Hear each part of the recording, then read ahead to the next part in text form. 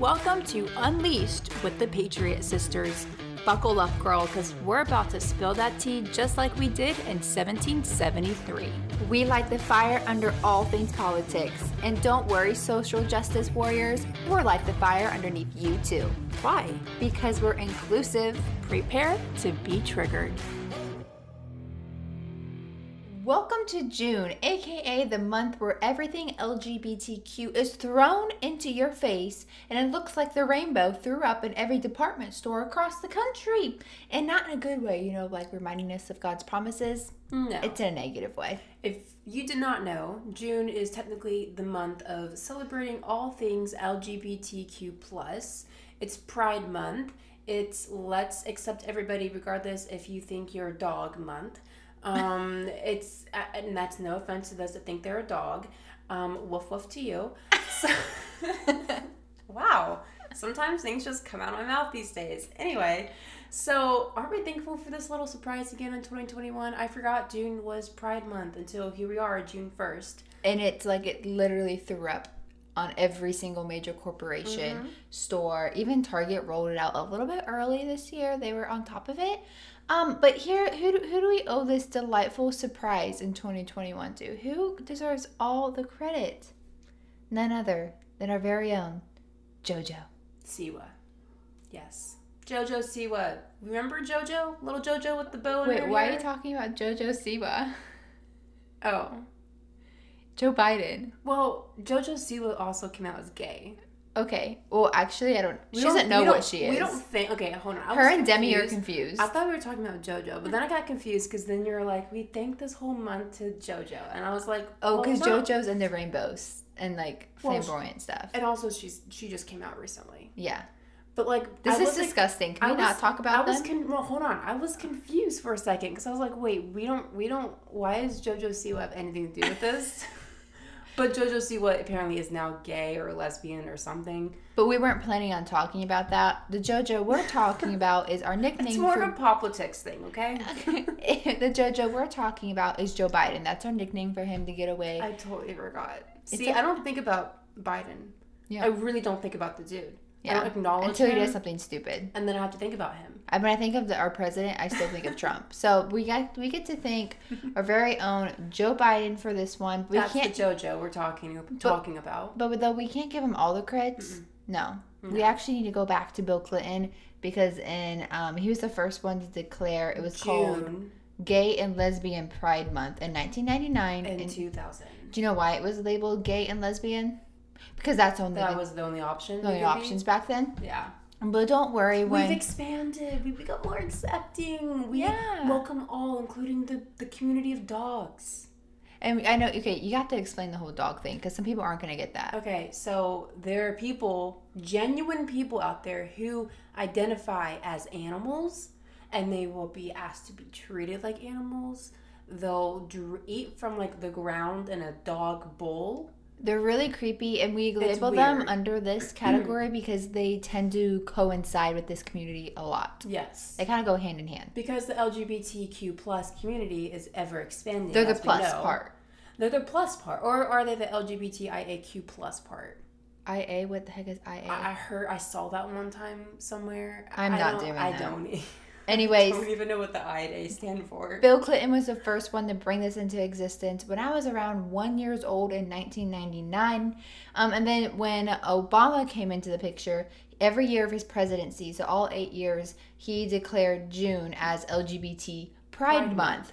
But don't worry, when our JoJo Biden, Mm-hmm. that one, came into the picture, he officially declared. June as the LGBTQ plus Pride Month. So we've evolved. We've gone from gay, lesbian to LGBT to LGBTQ plus. So I would like to see in another four to eight years, what other acronym are we going to come up Let's with? let's do um let's just change June to Trump month Oh, do that. because his We birthday Love America in, month. in June, right? Are you going to Google it? I'm googling. We're googling. I think it's June 15th. No, I'm not actually googling. That's a total lie. I'm, DuckDuckGo. I'm doing DuckDuckGo. It's June 14th. So let's just Mm-hmm. name June. Wait, are you proud of me? I pulled June 15th. I knew, I know my It's man's close. birthday. It's the 14th. Though. what are we going to do for him? Do you think they're having a rally in West Palm? We should go. Oh my gosh. That's like in two weeks. When is Okay, no, no, no more googling. Flag Day? I forgot. Flag Day is President Trump's birthday, June 14th. I bet you there's something fun happening. I don't know if that for is a fact or not, but there should be something fun happening. Yes, It's a president's birthday. We But- celebrate George Washington's birthday. but can we stop talking Okay. about something so exciting and good? This is supposed to be a really it sad, be sad? disgusting episode Oh. About what's happening to our country and what we can do about it. okay. So, If you dare question or deny June as being the LGBTQ plus Pride Month, can we just call it LGBTQ? I don't like the short. Oh, LGBT. I'm still on that one. LGBT month, Okay, the Pride Month, we'll call it Pride Month. that's better. Yeah, Pride Month. I don't give them too much credit. Congrats, you're automatically a racist, a homophobic, um, and you're hated upon for your set of beliefs. From this point forward, moving on. Forever. No takebacks. Mm-hmm. Done deal. Like in the package, in the envelope, Sealed. sent, sealed, and sent through snail mail. Like it's coming to you. You will be hated on and you will be canceled by the culture. But but why do we even care? Why people ask or I know people are gonna comment on our stuff this month and be like, why do you care? They don't affect your life. No, Well, here's the thing. they do. It's affecting your life. It's affecting our life every single day. It's affecting your children's life, your siblings' life, and your future kids' life. It will be affected depending on what we do about it today. So, for starters, the LGBT community and its avid supporters um, seem to thoroughly enjoy shoving their set of beliefs down our throats without our consent. I think usually those group of people are very into cons- consent, you know, like having permission, Consent. except when it goes against somebody else's beliefs. In that case, why would they care? And if you dare Because question, that, that makes sense. right? Well, because the left Has has, sense. Oh, Well, I was being I was you're being sarcastic. I wasn't. Okay. Let's try this again. Mm-hmm. Let's be- Sarcasm or no? No sarcasm. No sarcasm. because the left, has, no sense. That's why they make so much sense. There's a sarcasm. Okay, moving forward. Why is this an issue? Do we say? Do we ask? It's an issue because it's become a political movement. This is no longer about giving. Um, let's put aside for a second. It's not a whether- cultural thing anymore. Right, but let's put aside for a second talking about should is it wrong, is it right? Like we will get into that To and what we believe A considered part of that community. to live Is that you're lifestyle. saying? Yeah, let's Okay. just forget about that. Let's say Throw it out. let's just pretend and negate that, okay?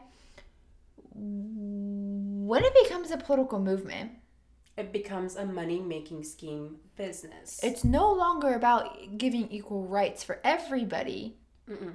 It has now become, because they do in all 50 states, it's now become a political movement and a money making scheme for major corporations and a mind control indoctrination camp and tactic. So basically, what you're saying is that it's not about the actual individual. Once again, it's about big monopolies Mm-hmm. Oh, oh, oh, and oh, oh. putting stuff back in their wallets, like green moolah. Do you know what that reminds me of? I'm kind of sunburnt. Please don't. Sorry, she's a lot darker Um, I today. kind of got burnt over the weekend, Memorial Day.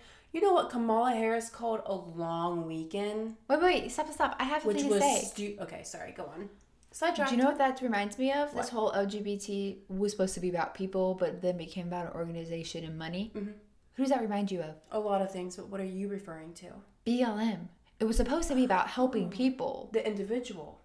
which negating the fact that I disagree with that. There needs to be a mass amount of help in that industry, that area. But let's be fair. The black communities are poor. And yes, they overall, do need help. yes, we need fathers. Mm-hmm. My version of helping might be a little bit different. Better education. Yeah. Across So, the board, It's the same thing. Things set out for maybe, I don't even want to say a good reason because I don't agree with either of those movements, of those rights. But it's become a political scheme, and that's where I definitely jump out of the bus if I wasn't already Mm-hmm. on it. So here's our question that we thought of, and also that we're asking our listeners, and also those that are watching on YouTube, our viewers. Hey y'all, why are we catering to such a small minority in America? Like, why, as Americans, why as Christians, why as a culture, why as a world have we begun catering to such a small group of people? There like, we act like they're. We act like they're the majority of Americans identify as this community, and it's not the truth. That's not the truth. There are roughly 331 million people actively living here in the U.S. So We have a question. we have a question for you now. Why are businesses, TV shows. organizations bending over backwards for a group of people of roughly 18 million? 18 million out of 331 million. People Do you know what that is? 5.4% of the population. are part of that? community. Why are we giving them an entire month when they only make up 4 5.4% of our communities? But let's think about this. Let's put it into perspective. Okay. Okay, perspective says this Christians currently living in the US make up about 62% of the current population. I don't have no Christian month. I can't even have Christmas anymore. Because that's racist and offensive to Jews and Muslims. Because we can't even say Merry Christmas. Now we gotta say Happy Holidays. So why are we continually backing down, lowering our standard as American citizens, as Christians, and saying, "Oh, we don't want to offend you hmm. because we need to appeal to the minority as compared to the majority of Americans." And instead, give them a minority American hmm. who makes up 5.4% of the population an entire month. But let's think about this. Let's say, hypothetically, okay, Okay. for, for argument's sake, we want to cater to the minority. Okay? For whatever reason, whatever stupid person came up with the idea, Like we're doing now. right? Okay. So let's just say that. We're, we're hypothetically saying we want to cater to the minorities living in the US. Fair. How about the minority of the veteran community? That makes up how much of the population in America? 5.8%. So So it's technically a minority, still more than the LGBT current Mm-hmm. community in the US, but it's still a minority. Why do the veterans not have an entire month dedicated to their sacrifice?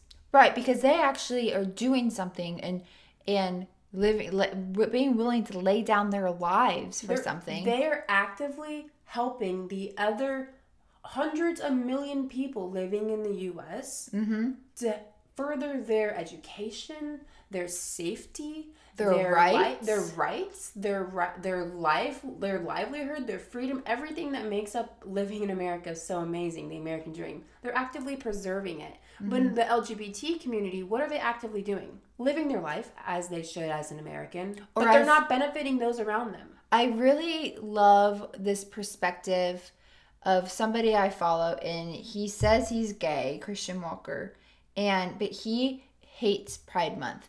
He and he calls it out in such a, a great a great way which that's a whole nother topic but why are those people they're doing nothing for america. They're doing nothing for this country. All they do is they have the the rights and all they want to do is go and have this month that's all about them have these parades and parties where they're literally half naked walking down the street being incredibly inappropriate and shoving it in your face. While all rave, while waving a rainbow flag like that's all they- they're not That's- contributing That, that's the the climax of it. as a community and what they're identifying as for the month. They're not contributing in that aspect. Sure, maybe they have jobs that help this.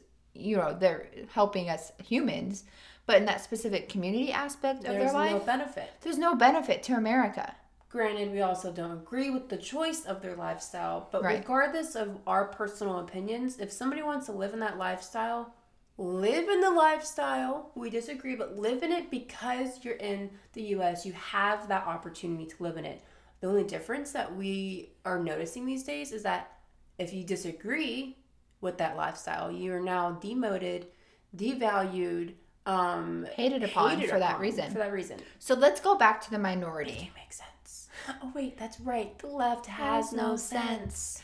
Let's break down the word minority real quick. Okay, people have used that word to mean something negative, typically lower income people, um, blacks, Hispanics, whatever category, but that's typically when someone says minority.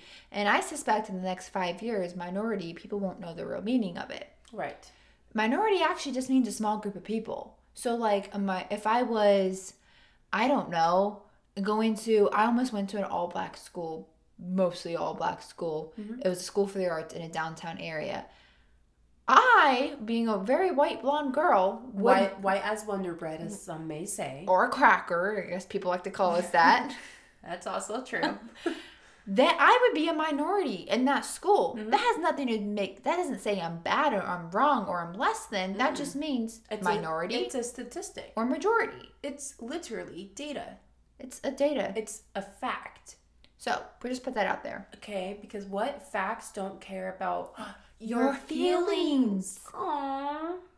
You sad about that? That's too bad. But let's look at it from a business perspective. Okay. Let's use this analogy that actually Mama Patriot helped us Mm-hmm. walk through this one, and she brought up a really good point as to why catering to the minority actually screws societies up, screws businesses up. Yes. So, you want to take this one? Oh, yeah, sure. So, Mama Patriot years years ago used to manage an apartment complex, uh, an apartment complex Like fi- 3,000. 3000 a lot, okay?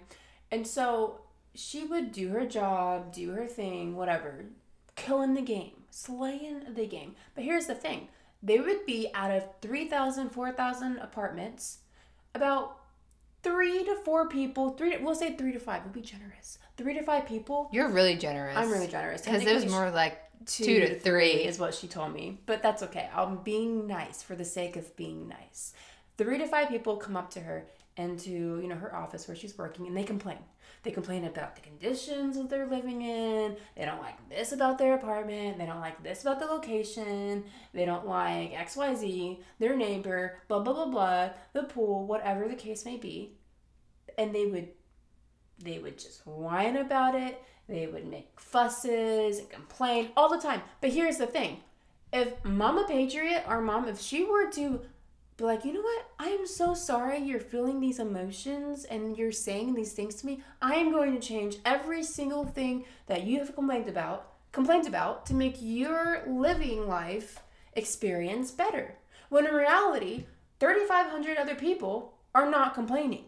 Yeah. They don't give a crap because they're fine. It's fine. It's not a real issue. And that's a common theme we're seeing in this country real issue or issues that aren't really real and they're not majority of people are okay the risk issues might be real but the majority of people aren't experience them. And so, if you were to look that look at that from a business standpoint, if my mom, Mama Patriot, if she were to adjust everything to accommodate those three to five people yeah. and their complaints, the business, the apartment complex would fail and it would lose money. Or here's another example. Because the mass majority of people don't need all these extra added changes. It's like this. If for our merch, one more example, if our merch that we have, which by the way, you can go to the patriotsisters.org slash shop, check it out. But if we took our merch, and we've had this happen, somebody mm-hmm. had comment or message us about a particular design we had and said, hey, I don't really like this aspect of it. Could you change it? Okay, It's fair to ask. thank you. I love feedback. But if I were to change that and spend it's a lot of money to get these things out for you guys, if I were to change that for one person, then only one person is satisfied when we have thousands of other people who are happy with what we gave them. and probably won't buy this new product because they don't they're not asking for it they don't need it it's And it's a very specific change it's a very detailed that not everybody would probably enjoy as much as this particular person. or benefit from So that's something we have to balance as a society, whether it's BLM or this is pride, balancing between, hey, no, you're just a bunch of crybabies Mhm. and trying to scream really loud to get your point across as compared to, oh no, oh my gosh, like 70, 80% of the country believes this way. We might, you know, make something, but that's actually not the truth. now a real business person would, would look at the the problem look at the complainer and be like all right so i hear you that might feel like a very real problem in your life and that's very valid it could be maybe maybe not but it could be But what I'm going to do as a business person is look at your problem compared to the current problems the mass majority of people are talking about and complaining to me about and just life in general and find a similar problem and then fix that. So it betters you and the majority of the people, not one versus the other. Right. Because the minority will always scream the loudest. They So, will always why- be the, the headache that you're currently experiencing. But why are we why are we looking to take this minority group when they really feel like it's a, it's an issue and that oh my gosh, so many people are feeling this way and identify and choose to be a part of this community and forcing it upon other people. The issue is, I guarantee so many of those people don't actually, and this is probably going to be very controversial, what the next segment we're going to get into. Uh oh. But why are we catering to the? Okay, so many people in that community, I would make the bet, don't actually truly identify as what they say they identify as, of what they weren't born with. Now, what would cause them to want to publicly make that claim?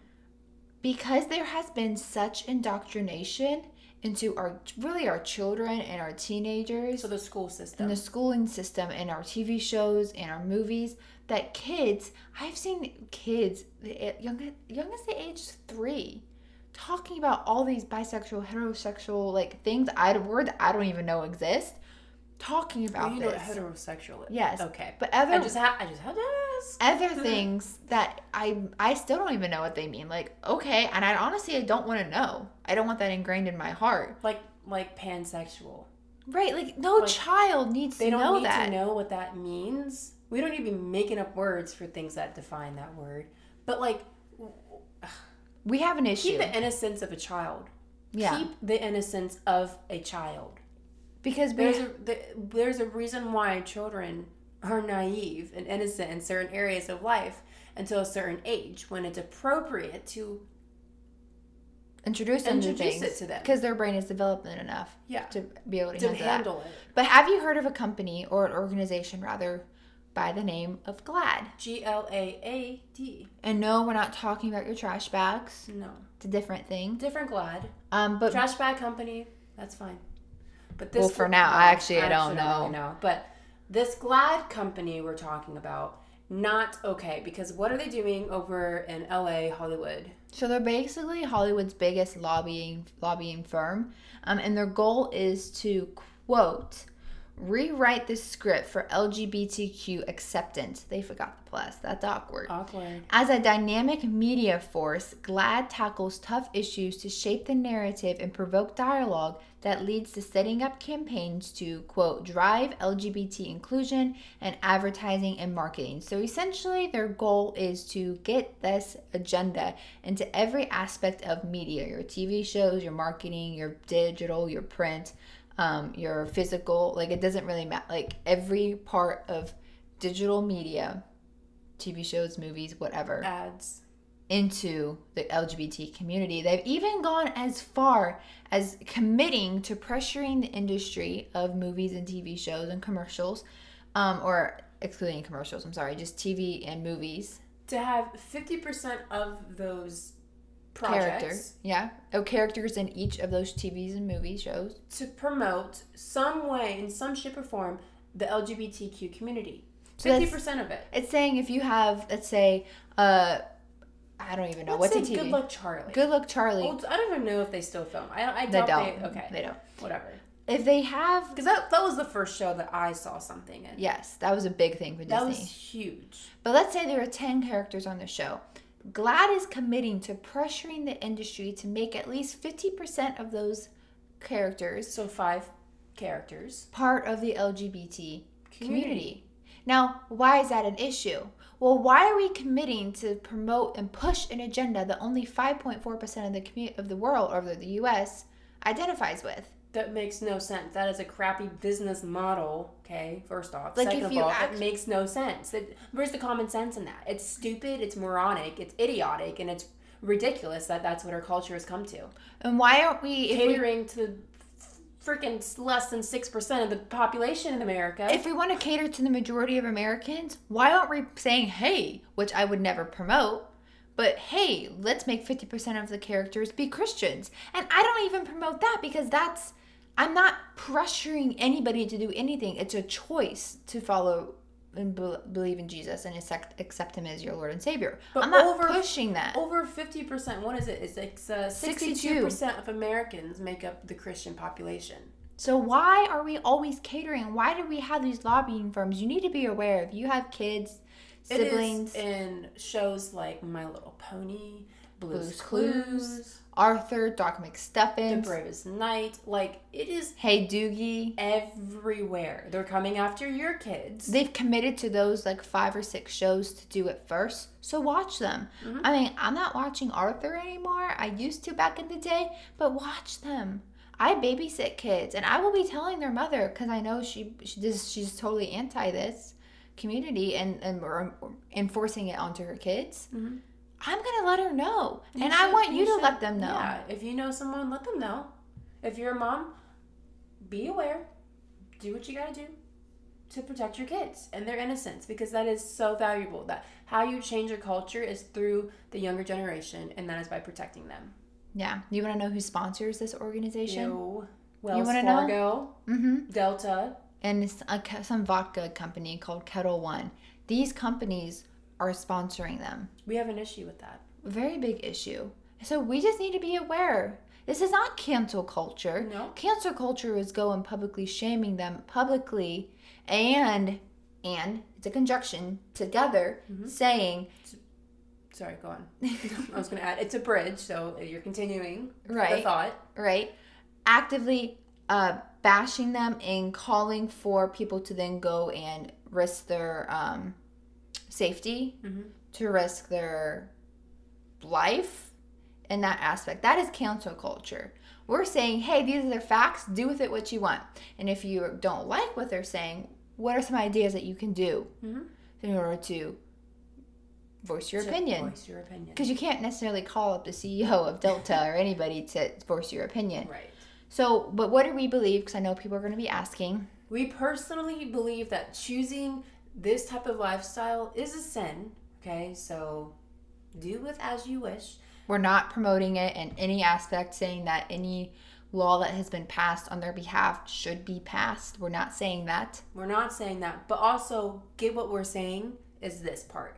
Because it is a sin, it does not make the sin greater than lying, stealing, cheating, witchcraft, adultery, etc. No sin is greater than the other. They're all the same. They all have the same amount of value, and it all breaks God's heart to watch it happen. It's saddening. It's disappointing. Um, But we don't promote it. We don't condone it. Um, that as well. we truly, truly, it's hard to watch people live this lifestyle, and we don't necessarily have the authority to speak in somebody's life we don't know. Um, but maybe you know someone who does, and you Yeah. can show them love through that. I mean, I know people that are actively living this lifestyle and didn't used to live this lifestyle of the LGBT community. and it's hard. And it's hard. Gosh dang, it's real hard, especially when they say they're Christian. But at the same time, we all sin. All sin's the same. And it's it all is- sin is a choice. It's all sin. Up top, girlfriend. All sin is a choice. You're not forced into it. It is not some. Yeah, I don't know, like whatever. It's a choice. Okay. And Yeah. LGBTQ community is a choice. Simple as that. and all sin has a way to have be helped and delivered from that. Yes. So we'll say that. Okay. So, but what can you do? We want to give you an actionable step of something that you can do in your Today. community today, mm-hmm. tomorrow, next month, next year, and even like for each, as long as it takes. to help stop this indoctrination. yes. Number one, you can. Oh, share this. Share this episode of Unleashed with the Patriot Sisters. Share it to social media, social media, Instagram, Facebook, um, Twitter if you're on Twitter. Anything else you want to do, Parler. Share it. Get this word out so they also have these actionable steps and facts to combat what is happening in their current communities. and why it's such a pressing issue and it's happening all around us without us even knowing it. Um, and you can do this by sending them the link to this episode, whatever platform, send it, have them listen to it. We try to keep our podcast under 30 minutes so it's easy to get on a quick car ride and all that. But step number two, we're launching a, we're going to call it a mini campaign For, for, the, month. of June. Yes. Whoop. And we might even keep it going depending. It's, it should be an, it's going to be an evergreen, ever living campaign. We're gonna just we're gonna figure it out together, guys. But this campaign is called When It Happens. turn it off. So, what does that mean? It means that when you're watching a TV show Or a movie. and there's an LGBT moment character that is brought into the episode, turn, it, off. Why do we it off. say turn it off? Because There's these, actually a strategic reason to why. right, it's not just for your benefit and protecting your heart and soul and and your eyes. Because the you know the Bible says the windows are the gateway, the windows, your eyes are the windows to your heart, your soul. soul. I got you. You got me. You confused me. I did say It's window. okay. It, you know what? A lot of the words can be interchangeable anyway. Okay. So I got you. But the reason why we're saying this is because strategically, when uh, you know people go back and look at their analytics of their videos, They actually track this. Mhm. Public or news networks, networks, everybody tracks shows, movies, when and through an episode they can see when people drop off, when people jump up, Mm-hmm. everything. We can see that on our podcast when people drop off and come YouTube, up. even YouTube, basic YouTubers, And they have give- this information. So then the, the people who are producing the content Sure know as heck have this information. they know when oh wait hey maybe when we start to talk about this lgbt people we're losing views and i'm going to even urge you to take it a step further don't turn it back on stop watching the tv show Mm-hmm. stop watching the movie well, i've had to do that it's Um, hard eh, eh, you know how many times I am in a show, a new new whatever. Okay, I'm, I'm digging it. Mm-hmm. I'm digging it. I'm binge watching that stuff. I am freaking loving it. I'm about to turn into a fan girl. Okay, and then all of a sudden, my favorite character freaking becomes gay or lesbian or whatever. You know how disheartening that is? Very disheartening. But you know what feels better? standing up standing up because I feel empowered. In the moment, I don't want to do it. Let's be honest. Nobody wants to, especially when they love something. They don't want to stop. Why would they want to stop something they love? Right? Like watching a new show. Mm-hmm. But looking back on it, never ever have I regretted it. Turning it off. Yeah. Never, not once have I was like, oh, you know what, maybe I could just keep on watching. No. I've never regretted it. So do this for your TV shows and movies and do this for commercials. I guarantee this month over the next 30, 29 days or so, there are going to be commercials from Wells Fargo, Delta. These companies will be pushing it. It could be Old Navy promoting their pride wear, whatever it may be. Anything. When you see it, immediately it turn it off. Mm-hmm. off because they'll see the viewership drop. And then encourage your friends to do so. That's something you can actionably do.